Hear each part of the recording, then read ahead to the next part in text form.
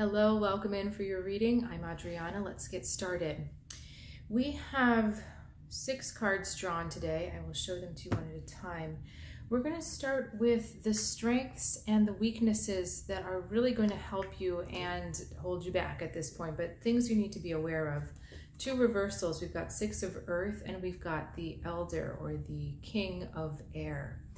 So your strength being the reversed Six of Earth this is an awareness of power dynamics that you are able to shift. This is an indication that you know how not to get stuck in power dynamics. You know how to keep things even and balanced.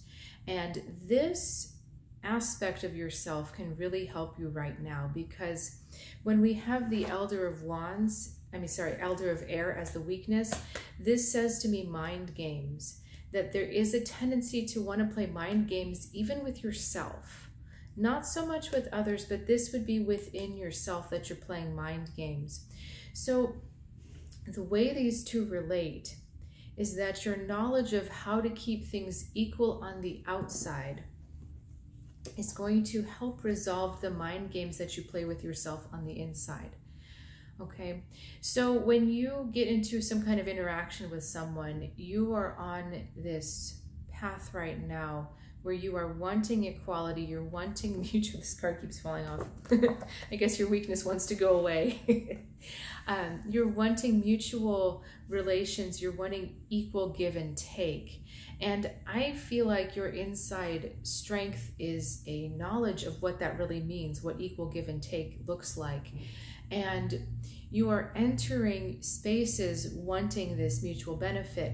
The only thing that holds you back is your mind starting to doubt, well, did I give too much? Did they give too little? Is this really is this really true what they're asking or what they're promising? It's when you kind of slide backwards into second guessing yourself that you get held back from this more even way of dealing with the outside world.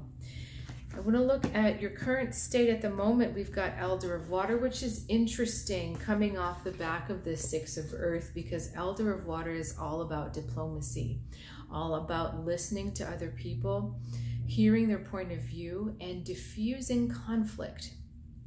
So if you're coming with this feeling of, okay, how do we make this so everyone wins? You're really set up in a good place right now.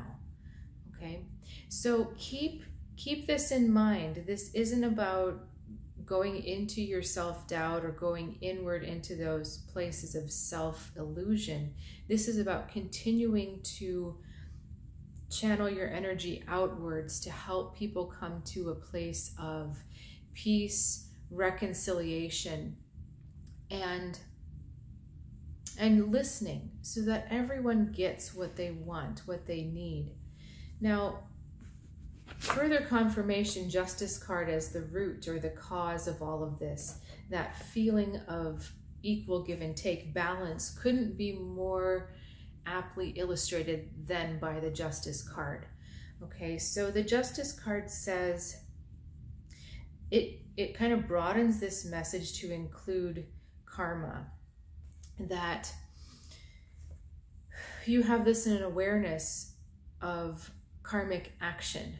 That anything you do at this moment, you're being very careful of so that you don't create karma in the future. This means keeping your intention high, keeping your mind clear, trying to really working hard to stay on the right side of every action.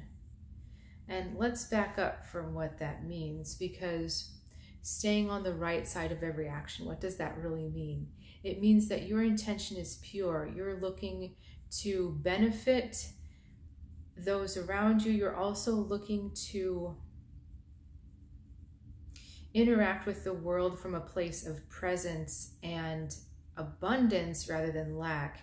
Where we get into a problem with karmic actions is where we think we don't have enough or we feel empty or we feel lacking. And then we get into this cycle of using, using others. And then that brings us to being used by others. So we start this whole journey.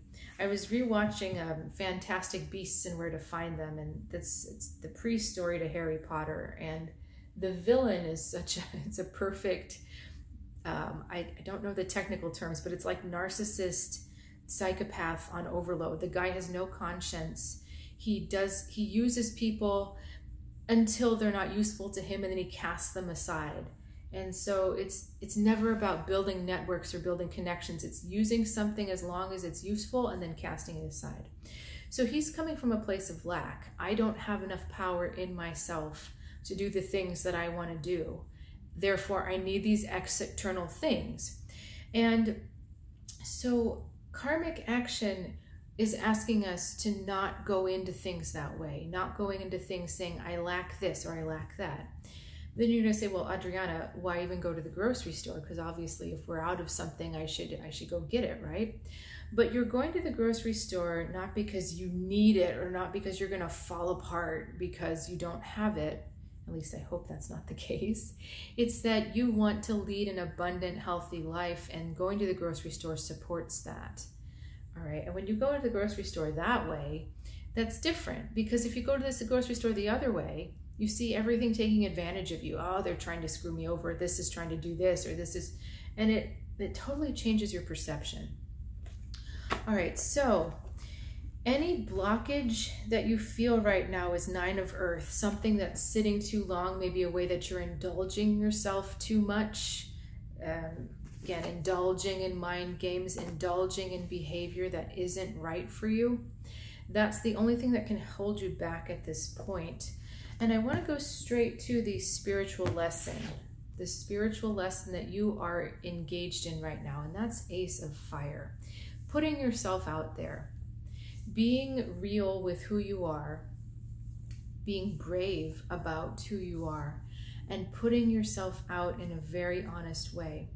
The Ace of, of Fire is like you've come from this place of deep introspection, a lot of time spent learning, a lot of time spent, I want to say, in the darkness, learning about yourself, learning how to be. And you're finally at a place where you're ready to start showing who you are. You're starting ready to start showing who your light is and who how your light can expand.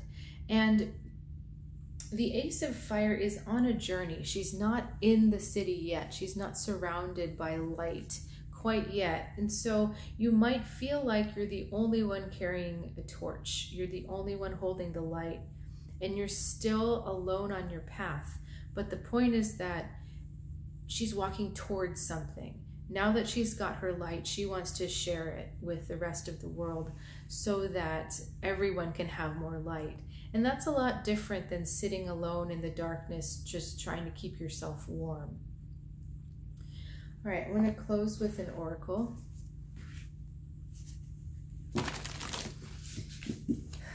If you're looking for a more personal reading or you want even more information about the direction of your spiritual path, please check out the links below in the description to website and other such things. But let me tap right now into the energy of these cards. Okay, two cards for you. open your heart and infinite blessings.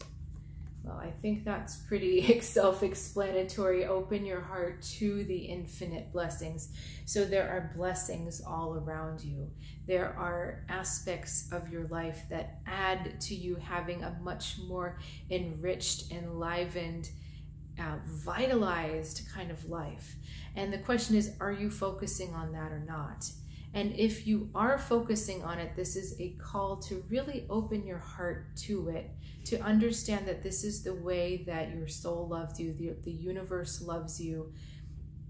It doesn't matter who's doing the loving, but it's literally opening yourself up to receiving all of these blessings that the universe has for you. This notice this isn't about retreating. This isn't about holding yourself back. This is about opening yourself up as you move forward. So, as you move forward, opening yourself up to love, opening yourself up to more blessings. I love this word infinite. because infinite means not finite. So it means that there are more blessings than we can actually count or quantify. The question is are we perceiving them that way? Are we thinking of them in a way that we can't even count them? And that's funny, right? Count your blessings is what we're told when we're being naughty, right? Like count your blessings. But what if the blessings are uncountable? And it's only when you're aligned with Source, when you're in your right place, that you see that there are too many blessings for you to count. It's our job to get us there, or get ourselves there, get ourselves into this space where there are too many blessings for us to count. All right, I'll see you soon.